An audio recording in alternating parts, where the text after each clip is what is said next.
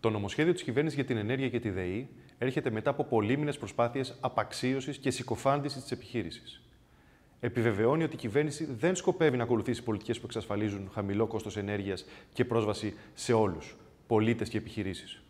Επιβεβαιώνει την επιθυμία της να εξυπηρετήσει ολιγοπολιακά ιδιωτικά συμφέροντα με αδιαφανείς διαδικασίες και εν τέλει να εκποιήσει βασικές δημόσιες ενεργειακές υποδομές κρίσιμες για την παραγωγική ανασυγκρότηση της ελληνικής οικονομίας. Χαρακτηριστικό παράδειγμα, η κυβέρνηση δημιουργεί ένα ιδιωτικό μονοπόλιο στα δίκτυα φυσικού αερίου, εκχωρώντας πλέον σε ιδιώτες ολόκληρο το ποστό του δημοσίου, 65%, τόσο στις υποδομές όσο και στην εμπορία. Την ίδια στιγμή, δεν υπάρχει σχέδιο για τους εργαζόμενους, για την ασφάλεια εφοδιασμού, για το κόστος ενέργειας, για τη διασφάλιση της ανάπτυξης δικτύων φυσικού αερίου σε όλη τη χώρα.